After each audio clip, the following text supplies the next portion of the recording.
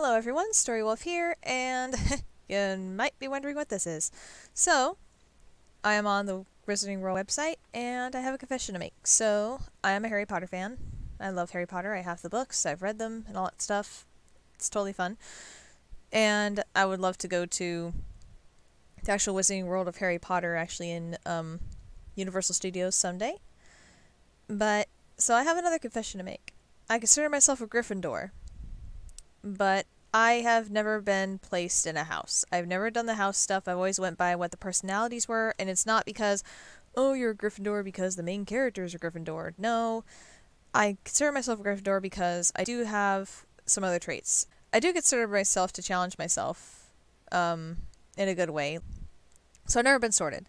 I always consider myself a Gryffindor basically because of the combination of traits that I have, but in truth, I could also be a Hufflepuff or a Ravenclaw. I don't think I'm a Slytherin. Slytherin. Nothing bad against Slytherins. I just don't think my personality goes to that. My ambition is not high enough for me to want to be a Slytherin. So, I've never taken this test before. And I'm going to give this a try. I had to make myself an account. So I made myself my own little Story Wolf account.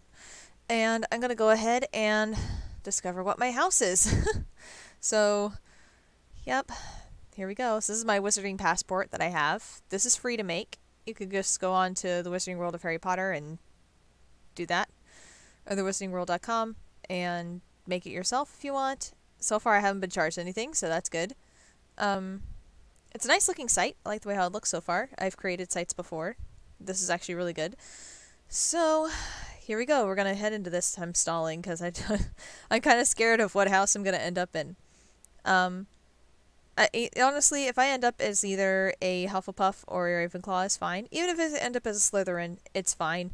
I'll have to rediscover my personality options and find out what's what is a Slytherin. But anyway, if you are a Slytherin, leave a comment down below. Like, explain to me your traits and what it means to be a Slytherin, like in your eyes.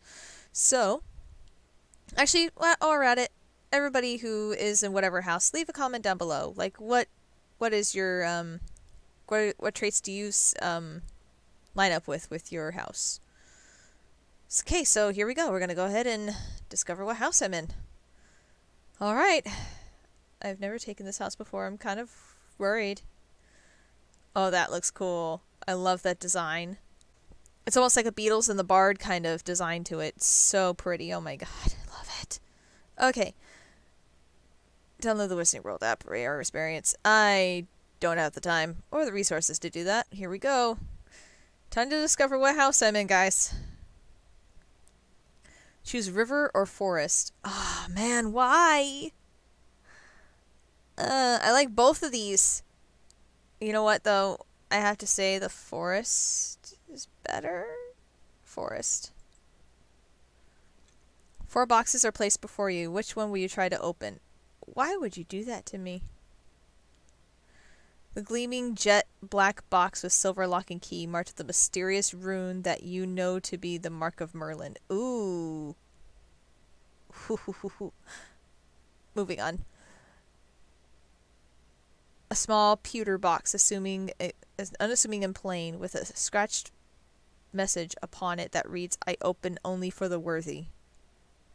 Sounds pretentious small tortoiseshell box embellished with gold, inside which some small creatures seem to be squeaking. Oh boy.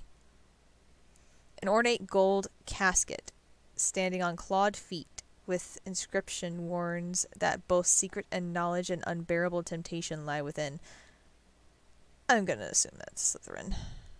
Um,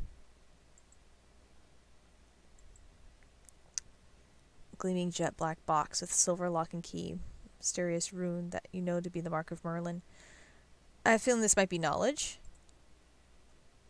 I open only for the worthy, unassuming and playing with scratched. Small tortoiseshell box of with gold. Some small creatures seem to be squeaking.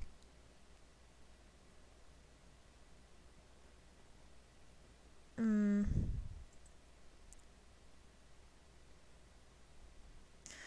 This is tough. I love Merlin like not only as a character but also like I love the no- knowing about him. But then again, here we go with the knowledge. I should really think about this with what I would want to open. What box? The Mark of Merlin is very tempting. I don't think I'm worthy. I don't. I wouldn't oh, grab this one to say that I only open for the worthy. I wouldn't open it.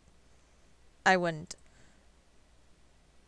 Small creatures seem to be squeaking. I want to see what the small creature is, but at the same time, I'm kind of also scared. I know how the Wizarding World works. What is it?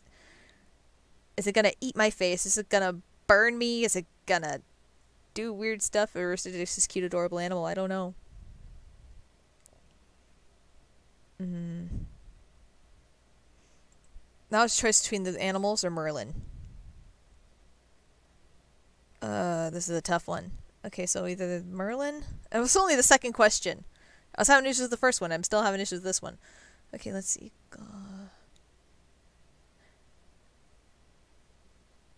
Okay. I want to see the creatures in the box. Let's do it. A troll has gone berserk in the headmaster's study at Hogwarts. It is about to smash, crush, and tear several irreplaceable items and treasures. In which order would you rescue these objects from the troll's club if you could? Nearly perfect cure for dragonpox. Oh god, I don't have... Nearly perfected cure for dragonpox. But where's... Uh, okay, so let's position for the cure. There's several irreplaceable items. Okay, so think about this. Okay, so troll is destroying things. Okay, so I gotta figure out what I would want to. Irreplaceable items, cure for dragonpox. Yeah. Student record going back a thousand years. Um. A second. Mysterious handwritten book full of strange runes. Yeah, I'm sorry, that's the way how I would do it. First, a nearly perfect cure for dragonpox. Then, student records going back a thousand years. Finally, a mysterious handwritten book full of strange runes. Yeah, I'm sorry, that's how I would do it. Because, sorry, cure for dragonpox, very important. Um, a cure for anything is very important, regardless of whether or not it's close or not. Records for people going back a thousand years, student records are also very important. And the Book of Runes, as cool as that is, and I would love to know what's in it, honestly, this would be the order that I would save them in. Sorry, I would. From order. If you were attending Hogwarts, which pet would you choose to take with you? Cats, toads, or owls? this is a hard one. It's a hard one because I can't choose between an owl or a cat. I love cats. I have a cat. I love him. You know what? I'm, I'm choosing cat. I would take Sonic with me. I love owls. I would love to have an owl, but I would take Sonic with me every, any day. If you were attending Hogwarts, which pet would you like to take with you? A cat. Ooh, a ginger cat. A white cat. A Siamese cat. A tabby cat. Or a black cat. Tabby. It's Sonic. I gotta take him with me. Okay, Sonic, you're coming with me, bud. Which of the following would you like to study? Ooh. Okay, merpeople centaurs, werewolves, vampires, goblins, trolls, or ghosts.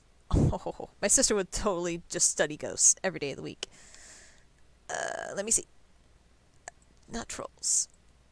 Not vampires. A werewolf, possibly. Or people. A werewolf. I would study werewolves. I'm a wolf, so I would study wolves. I don't even know what my Patronus is. For all I know, my Patronus could be a bug. Um, I don't even know if there are bugs. as much as I am a fan of Harry Potter, I don't even know what all the Patronuses are.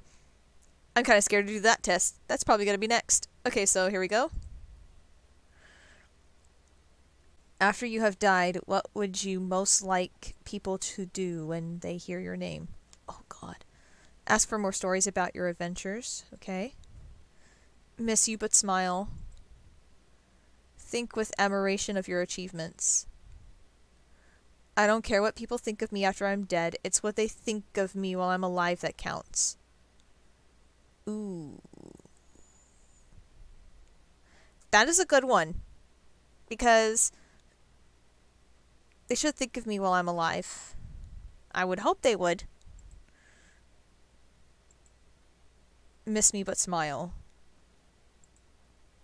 That's how I feel about my friends, actually. As for more stories about your adventures.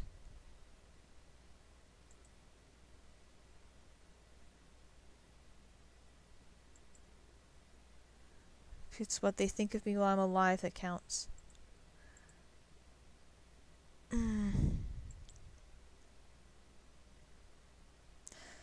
I think what I would most want okay this is this is a question of what they would do. This is a question of what I would want them to do. Would I want them to ask more stories about me? Or would I want them to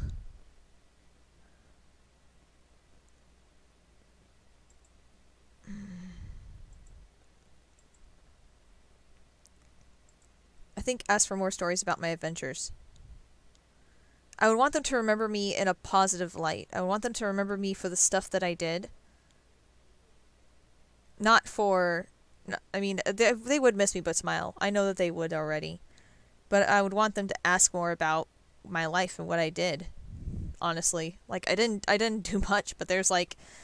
If, I, if my adventures or my life could help somebody else, that's basically where I'm at. So, basically that's how I'm going to try and select this.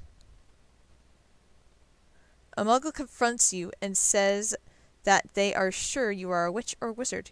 Do you? Ask them what makes them think so. Tell them that you are worried about their mental health and offer to call them a doctor.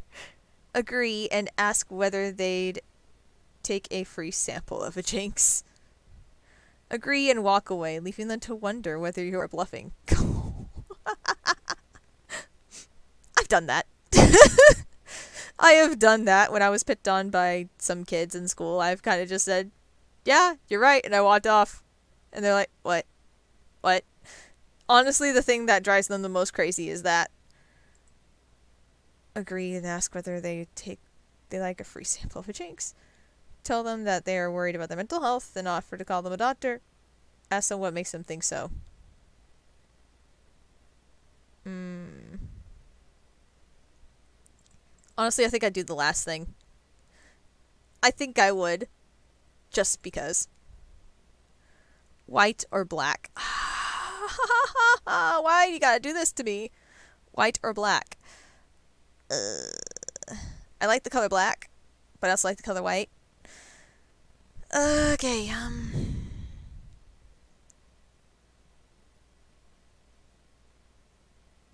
White or black? White or black? I'm choosing black. He's ready to make his decision. Oh god, I'm scared. I'm scared, guys. Here we go. What am I? I'm a Gryffindor! yes! I knew it! I knew it! I'm a freaking Gryffindor! Hell yeah! Sorry. Courage, bravery, determination. Yep, that's me. You probably know that some of Gryffindor's most renowned members include Albus Dumbledore and Harry Potter, but did you know the Sword of Gryffindor was made a thousand years ago by goblins? Or that head house Minerva McGonagall's hobbies include correcting articles in Transfiguration Today and supporting the Montrose Magpies? Interesting. Share your pride. I'm a Gryffindor! Heck yeah! Delighted. okay.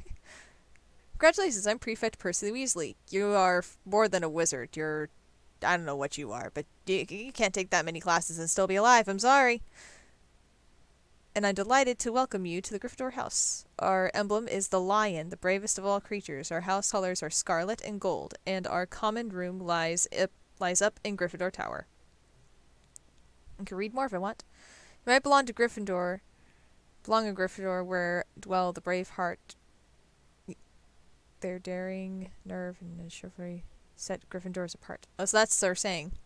You might belong in Gryffindor, where dwell the brave at heart, their daring and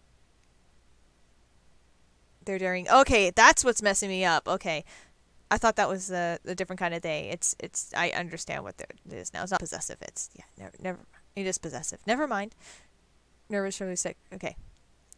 You might belong in Gryffindor, where dwell the brave at heart, their daring, nerve, and chivalry set Gryffindors apart. Sweet! I'm a Gryffindor! Holy cow! Nice.